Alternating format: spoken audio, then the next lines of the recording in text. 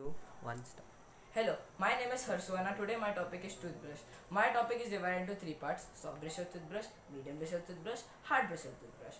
First, soft bristle toothbrush. Soft bristle toothbrush are best uh, type of toothbrush to remove plaques from your teeth and unwanted debris from your tooth.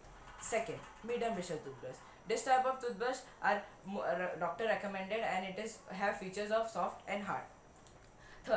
Bristle toothbrush. Some people adapt to hard bristle toothbrush because it is have more features and remove more stains from your teeth and plaques. Now I will tell you applications of toothbrush. Toothbrush is an oral hygiene instrument used to clean our tongue, gums and teeth. And toothbrushes have 7 to 8 inches long. Toothbrush is a plastic, plastic handle and nylon basin at the head of the toothbrush.